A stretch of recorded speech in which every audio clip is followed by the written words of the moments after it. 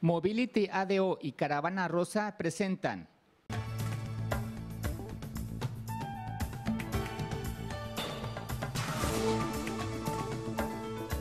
Bienvenidos a Cable Noticias Quintana Roo. Esta es la información estatal. Quintana Roo es líder en muchos indicadores nacionales, como en la generación de empleo, el turismo, pero es importante que ese liderazgo se vea acompañado de una mejor calidad de vida para todas y todos, en el norte y especialmente en la zona rural del sur, expresó el gobernador Carlos Joaquín. Necesitamos que esa derrama económica recorra todos los rincones del estado, llegue a las puertas de nuestros hogares y alcance los bolsillos de nuestras familias. Ese es el gran desafío, afirmó el titular ejecutivo. Con motivo del 20 aniversario de la Asociación Mexicana de Mujeres Empresarias, el gobernador de Quintana Roo asistió a la ceremonia con el que culminó la celebración, en el que reafirmó su compromiso con el sector empresarial bajo un esquema de equidad de género. Hoy en nuestro gobierno reconocemos el trabajo de la mujer, la impulsamos en los espacios públicos, pero también en el espacio privado y sé que junto a la asociación y en alianza con otras instituciones podemos avanzar en la recuperación económica que nuestro estado necesita, destacó el gobernador Carlos Joaquín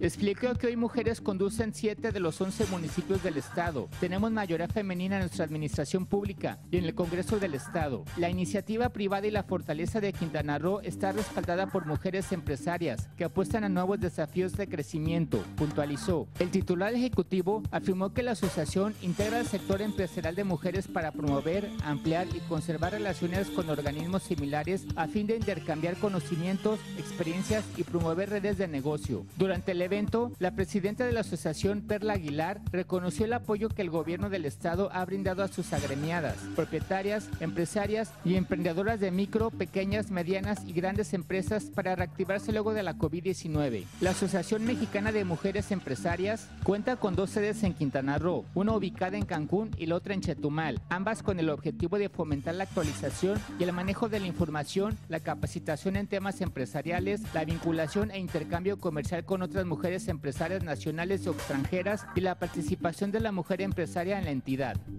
En el comunicado técnico diario con corte al 28 de octubre se tiene 67.045 casos negativos, 179 casos en estudio y 59.385 casos positivos, con 54.781 recuperados y 4.038 defunciones, con 423 en aislamiento social y 143 hospitalizados, con una velocidad de crecimiento de casos en la zona norte del 0.06% y en la zona sur el 0.13%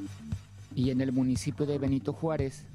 Autoridades de seguridad del gobierno de Quintana Roo sostuvieron un encuentro con más de 16 cónsules de América y Europa, donde uno de los temas primordiales fue la prevención de auxilio en cualquier situación para que quienes visitan los diferentes municipios. Los avances en la estrategia de seguridad entre la Secretaría de la Defensa Nacional, la Secretaría de Marina, la Guardia Nacional, la Secretaría de Seguridad Pública, la Fiscalía y los municipios fue otro de los asuntos tratados en el encuentro. Según los participantes en la reunión, efectuada en el C5 ubicado en el municipio de Benito Juárez, esto permitió fortalecer los lazos de colaboración y de comunicación entre consulados de autoridades estatales. Durante el conclave, Lucio Hernández Gutiérrez, secretario de Seguridad Pública Estatal, presentó un informe sobre las actuaciones y estrategias, al igual que el fiscal Oscar Montes Doca Rosales, tendientes a reducir los índices de violencia e inseguridad. Las autoridades acordaron reunirse con los cónsules cada dos meses a partir de enero para rendir informes sobre los avances en el tema. Esta reunión se da a días de que se registró una balacera en el municipio de Tulum, donde perdieron la vida dos visitantes extranjeras, un tema que fue ampliamente discutido en el encuentro.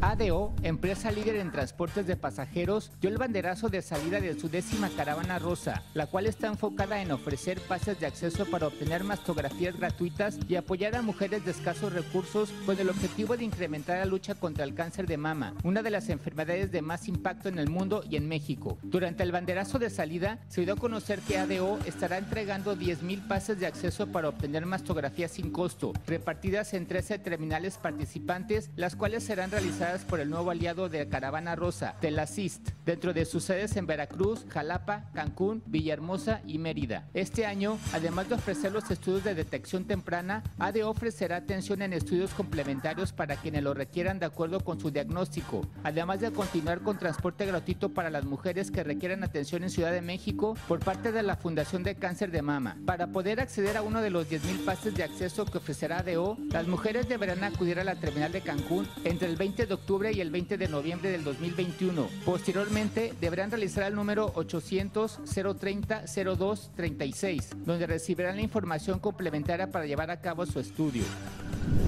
Y para mañana en el pronóstico del tiempo tendremos una temperatura máxima de 29 grados centígrados con una mínima de 17 grados, con una humedad del 59%, con probable lluvia del 0% y con una del 10%. Esta ha sido la información más relevante del día de hoy. Que pase usted una excelente noche. Síguenos como Cable Noticias Quintana Roo en las redes sociales. Mobility ADO y Caravana Rosa presentó